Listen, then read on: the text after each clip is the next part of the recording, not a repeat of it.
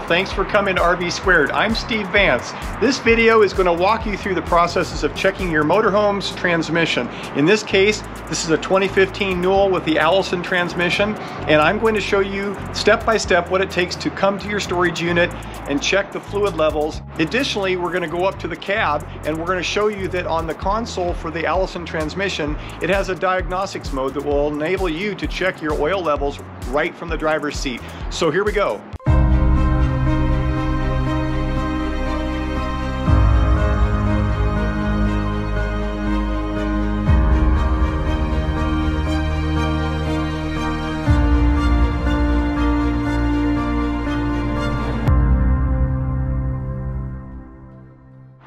Don't already have it, it's a little bit hard to find, but you can Google your transmission's model. In this case, I have Googled an Allison transmission. It happens to be a Model 4000. This is the original manufacturer's manual. It is dated back quite a few years. I think this is a 2009 version, but they haven't modified the procedure I'm going to show you that much.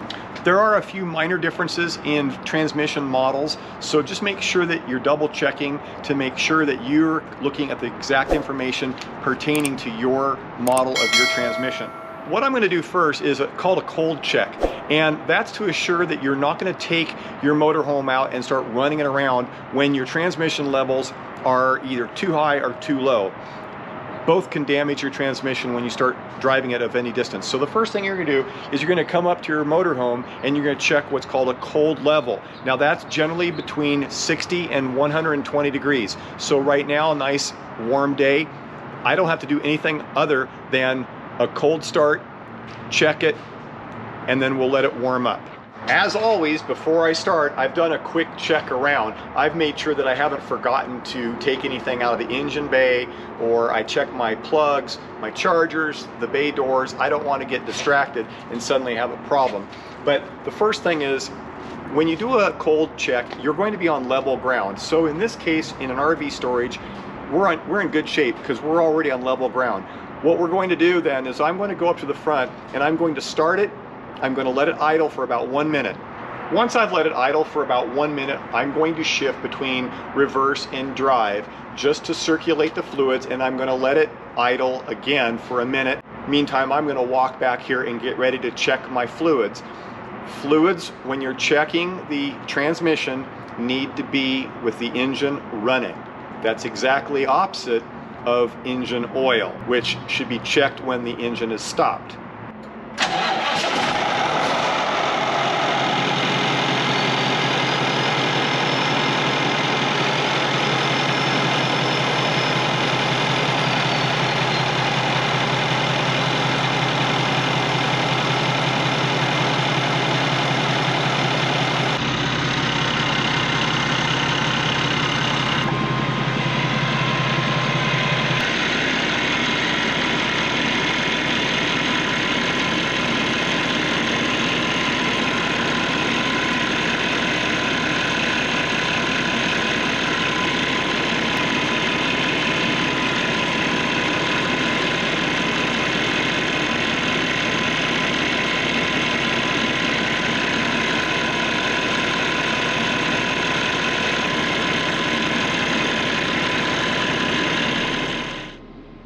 So now let's walk inside the cab and on the Allison control panel there's a diagnostic mode. The diagnostic mode is accessed by pressing both the down and the upward arrow at the same time and hold it. When you enter the diagnostic mode, if you see anything other than OL with a OK to follow, or perhaps an L2 or L3, which would indicate that you have got low fluid. In this case, the TL is telling me that the temperature is too low. So the fact is, I walked in here after it's been idling for five minutes, and indeed the transmission temperature is too low to do this readout. The hot temperature readout that's in the control panel has to be within 140 and 220 degrees. So in order to use the diagnostics mode in the cab on the Allison panel, your transmission temperature has to be between 140 and 220 degrees. And you can see the trans temperature right now is 96 degrees, so we've got a ways to go. when you do the cycling between reverse and neutral, you have to pay attention to how your particular coach is programmed.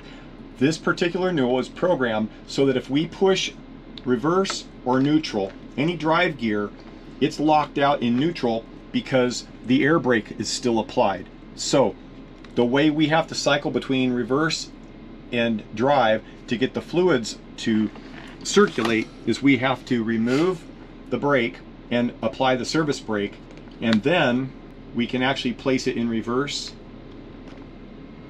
drive and back to neutral. And it goes without saying but make sure you reapply the parking brake. Okay so you can see that I was a little bit low on fluid probably two quarts worth so I'm gonna let you know a little secret there's a right way and a wrong way the right way is to go grab a nice little beaker from your kitchen supplies. Plastic is preferred, and that way you can make a nice, neat job out of pouring a little bit of fluid into your trans.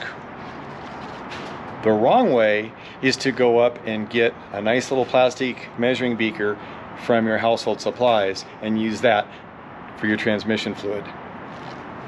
That said, I happen to have a funnel. It's not the easiest thing to do, but I'm very thankful that Newell has given me plenty of room to work around the transmission fluid port so I can get in there and hopefully not make too big of a mess.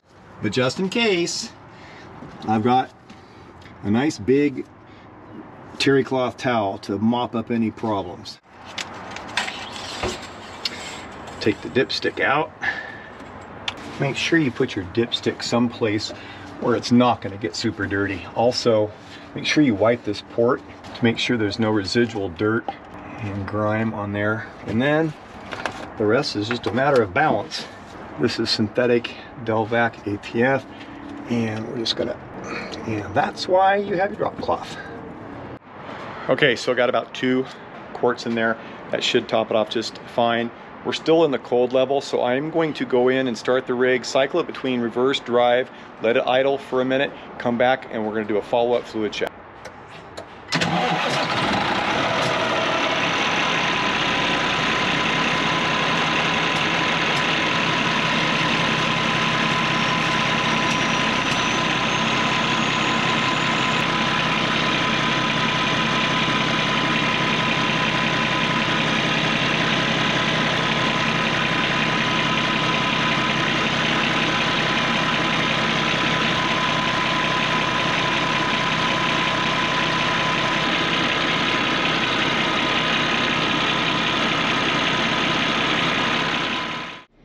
Right, with the engine and the transmission warmed up adequately, we're ready to do a hot check using the Allison pad in the driver's seat. So let's check it out. Once again, to enter the mode for diagnostics, you're going to hold the up and down arrows simultaneously, and you're going to watch the display immediately go into the oil level mode. It will cycle between the reading of oil level and a reading of whether it's okay or L1 for one quart down L2, two quarts down, which mine read earlier L2. That's how I knew to put two quarts in. Now to go into the second part of the diagnostic mode, you toggle the up and down arrow again at the same time, and you enter the oil monitor life. This is the oil monitor life, and, it's and it reads from 99 down to zero. It's 86%. The third press will bring you to the filter life monitor, indicated by FM, and it'll tell you OK, Yet it could also tell you that the life is low, which would be L0. The next diagnostic mode we're going to enter in is the fourth press. This is the transmission health monitor. TM for transmission health. It reads OK, so we're good to go. If you see L0 or any other codes, you better write them down because they're not normal. The last mode that we enter into by pressing again is the diagnostic memory mode. In this case, the diagnostic code memory 1 is blank, and that's good. If you saw something following up after the D1 position, you would want to copy the codes down, and it might read something, for example, P, then 07, then 22. So you'd have a diagnostic memory recorded as P0722, you'd copy that down and give it to your mechanic. or just take it to your mechanic and, and they'll know what to do. But in this case, I am good to go. I have no memory faults and I just simply press neutral again and we're back into the normal transmission mode and now I can release my service brake and we're all set to get on the road. So we're all done, but I do a last minute double check, make sure that I've got everything buttoned up nice and neatly. Make sure oil caps are back on, dipsticks are locked in. Final check.